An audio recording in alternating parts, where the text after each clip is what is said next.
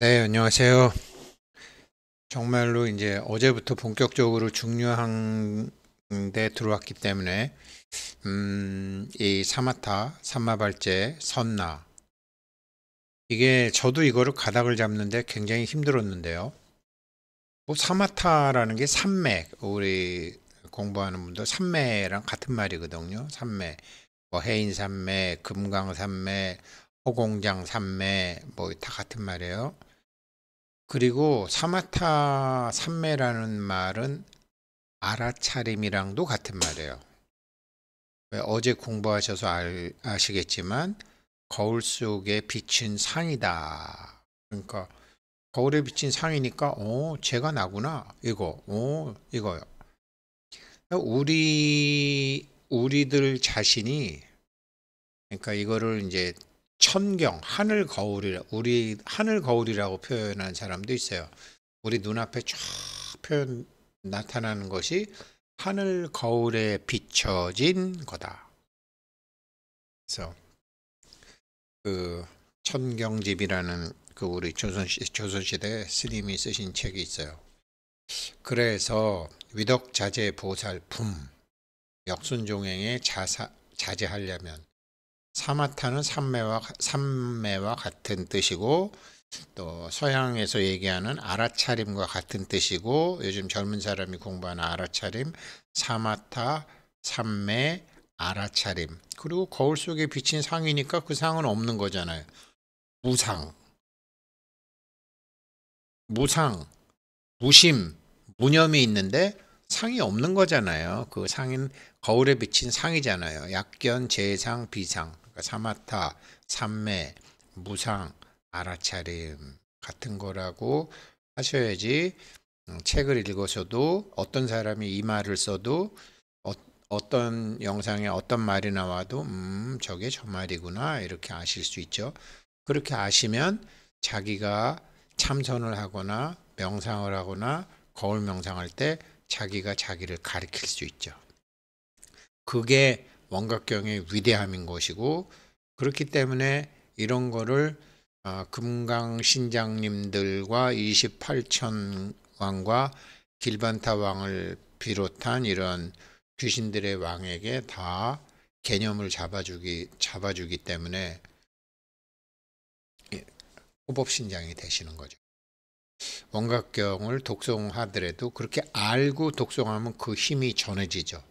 우리 조상님들에게도 그 다음에 지금 현재 어, 자, 이 공부를 하고 있지 않은 자기 가족들이더라도 자 본론으로 들어가 보겠습니다. 위덕자재 보살장 제7 어제 했던 것에서 다시 개념을 잡아 드릴게요. 아참 금강경 인생수업 심층공부 자율후원금 동참해 주신 분 박효섭님 감사합니다. 오섬결님 감사합니다.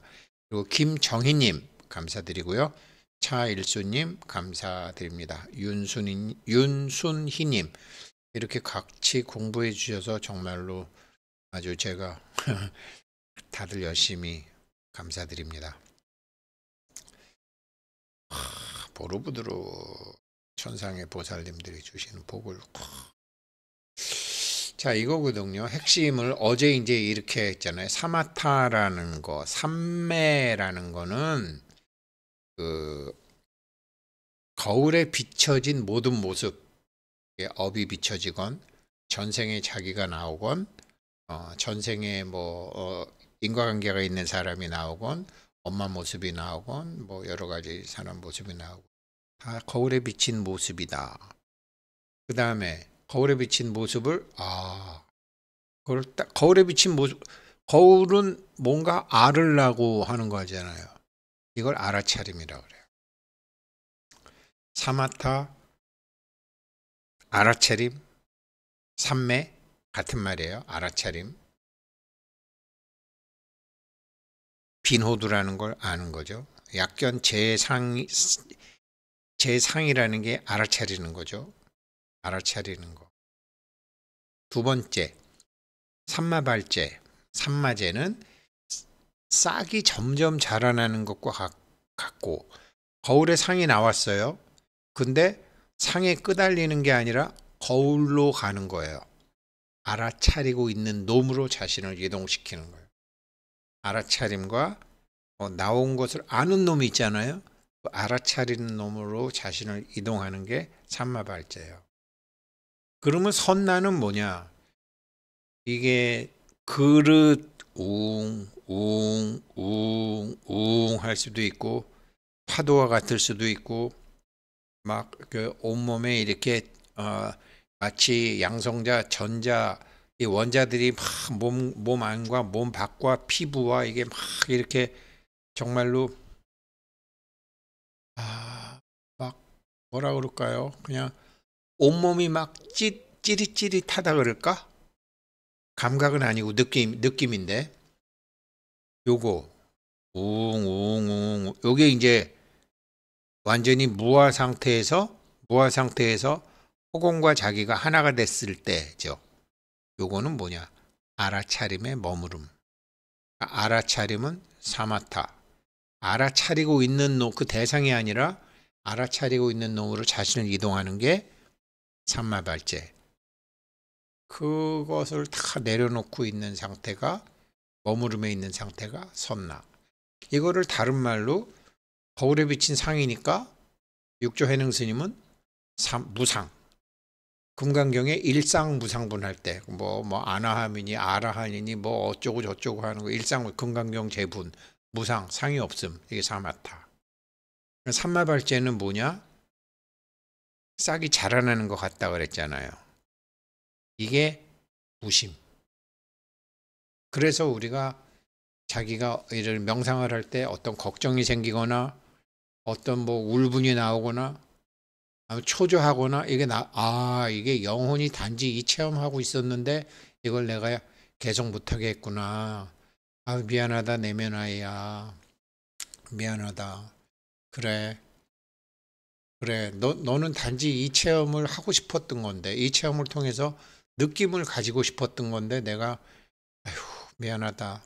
나는 가만히 있을 테니까 마음껏 네가 느끼고 싶은 대로 느껴. 하고 싶은 말이 있으면 다 해. 이게 무심. 아주 중요해요. 제일 중요해요. 이거 삼마 발제를 잘 안 하고 사마타나 선나 해봐야 앉아 있을 때는 편안한데 일어나면 문제가 하나도 해결이 안 돼 있는 거예요. 이게 무심.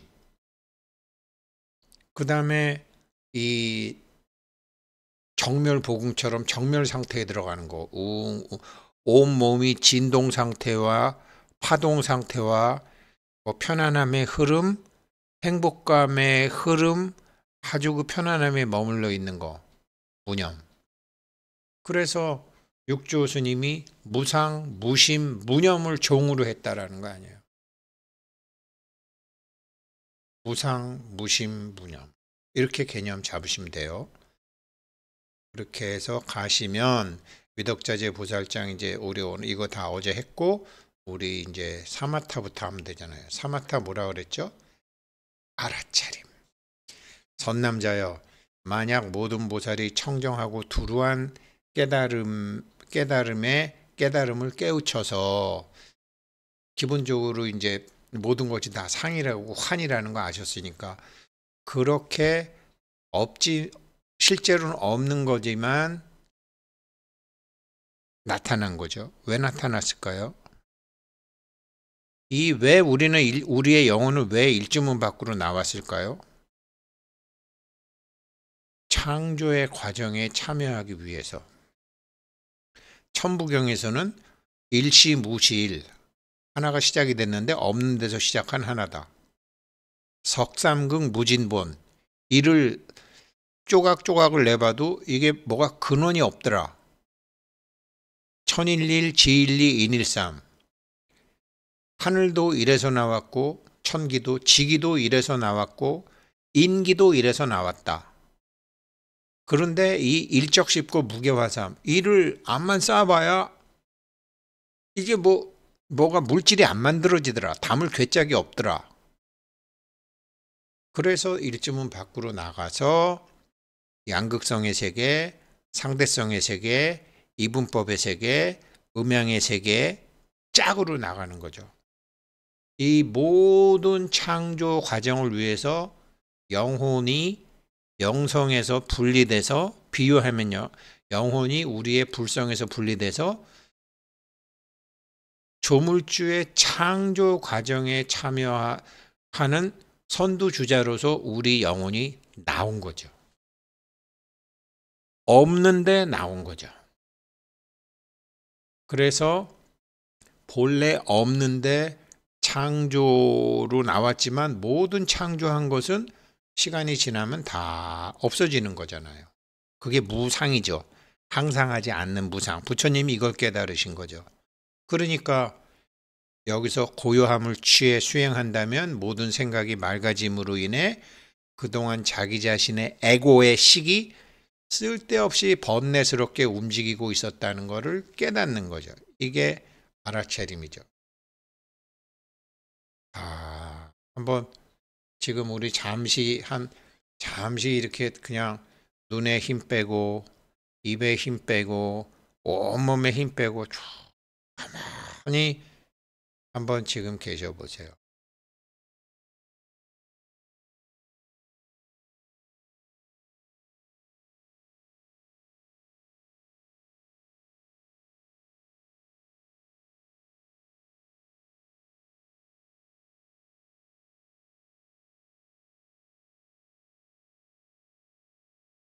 네, 저 같으면 이거 하는데 야 이거 몇 분이나 이 방송 두고 정말로 탁 놓고 하고 계실까? 저는 요 생각이 났거든요. 그 생각, 어떤 감정, 아 이거 난 거를 알아차렸잖아요, 제가. 오, 내가 지금 입정의 상태에 들어갔는데 야 이거 몇 명이나 이걸 할까라는 한 생각이 딱 일어난 걸 제가 알아차렸잖아요. 음, 없는 그 한 생각은 그 생각은 일어났다가 없어지는 거지만 그걸 제가 알고 있잖아요. 알아차림. 아, 이런 식으로 에고의식이 번뇌스럽게 움직이고 왔다 갔다 왔다 갔다 했구나. 이게 사마타예요. 그래서 자신의 내면에 이미 지니고 있었으면서도 이 허공 뭐 수족관 수족관 할 때 뭐 안 그러면 공간을 쥐고 있다 허공을 쥐고 있다 주의를 쥐고 있다 그 자신의 내면에 이미 지니고 있었으면서도 사용하지 않고 있던 아니 사용을 하면서도 무의식적으로 그 힘을 에고가 쓰도록 나타나는 놈 하다 보면은 어, 지금 몇 사람이나 하지? 그게 에고잖아요. 그 생각하는 놈의 에고잖아요. 걔가 사실은 모든 문제를 다 만들었고 문제 해결도 못하는 놈이잖아요. 그 놈, 아, 요 놈이구나. 근데 그걸 알고 있는 놈은 위덕자재한 보살이잖아요. 그래서 에고만이 뭐제 경우에는 며칠 전에 그 계엄령이 발표됐을 때, 어, 어떡하지? 어떻게 되나? 옛날 같으면 제가 증권회사에 있었던, 야, 이거 내일 아침에 시초가가 어떻게 될까? 야, 이거 아침에 몇 시에 출근해야지? 아침에 전부 반대 매매 나오, 밑에 몇 회 싸게 나, 이렇게 그냥 그 나타난 놈이랑 노느라고 정신 없잖아요. 그런데 아, 쟤랑 놀면 안 되지. 제가 제가 모든 문제를 다 만들었던 놈이지. 그러면서 문제 해결도 못하는 놈이지. 난 지금 위덕자재 보살님이 되려고 역순종에 자사하려고 그걸 알아차리고 있잖아요. 그거 알아차리는 거를 고요한 지혜의 힘. 제, 제 쫓아가면 안 돼. 제 쫓아가면 뭐 평생 저, 제 쫓아가갖고 그 시작은 창대하나 그 끝은 미미한 거 다 알잖아. 그래서 이게 몸과 마음과 생각과 감정이라는 것이 이게 손님처럼 왔다가 손님처럼 사라진다는 걸 알고 그걸 안 쫓아가면 그때 안으로 능이 적정하고 홀가분하고 가볍고 평안함을 자기 스스로 알아채고 있는 순간에 되고 그리고 뭐 어떤 생각이 나든지 그런 경계에 시달리지 않는 적정한 그 고요의 힘이 그 고요의 힘이 이게 수족관의 물이고 이게 허공이고 이게 주장자고 이게 한마음이고 이게 열애라는 거를 열애가 되는 거죠. 그래서 나타난 것은 환이기 때문에 상이기 때문에 안 쫓아가는 거죠. 그걸 알아차리는 시방 세계 모든 열애심이 자신의 내부에서 드러나서 그러니까 떠오르는 생각도 나의 의식 속에 있으니까 내가 만든 거잖아요. 어떤 걱정이 생겨도 나의 업에서 나온 거니까 그 내가 만든 거잖아요. 그래서 자기 자신이 거울이 되고 하늘 거울이 되고 거기에 만물이 나오고 만법이 나오고 오만 가지 감정이 나오고 이런저런 현상이 생각나고 이런저런 가슴 답답한 상황이 나 보여도 아 저게 거울에 비친 모습이지 본래 없는 건데 나온 거지라고 하는 거. 이것을 알아차리고 있는 상태를 사마타라고 하고 삼매라고 하고 개한테 가서 같이 놀고 하는 그런 짓을 안 하는 거죠. 이 방편을 이름하여 사마타라고 하느니라. 사마타만 해요. 하루하루라도 철저하게 해야지. 그래서 이거를 사마타라고 하고 이거를 다른 말로 알아차림이라고 하고 이거를 또 무상이라고 한다. 오늘은 하나만 알고 내일은 그러면 뭐냐? 삼마발제거든요. 삼마발제는 삼마발제는 알아차리고 있는 놈 놈으로 자기 주체성이 바뀌는 거죠. 그리고 그 안에서 이제 뭐가 일어나는 거를 음 그랬구나, 어 그랬구나 이게 뭐죠? 관이죠. 그 삼마발제가 관이고 이게 윗바사나예요. 삼마발제를 다른 말로 윗바사나라고 그래요. 자, 그렇게 해서 하나씩 하나씩 에, 진도가 하더라도 오늘은 사마타까지만 하겠습니다. 이 위덕 자제보살 역순종행에 자제해야 되잖아요. 우리 모두. 감사합니다.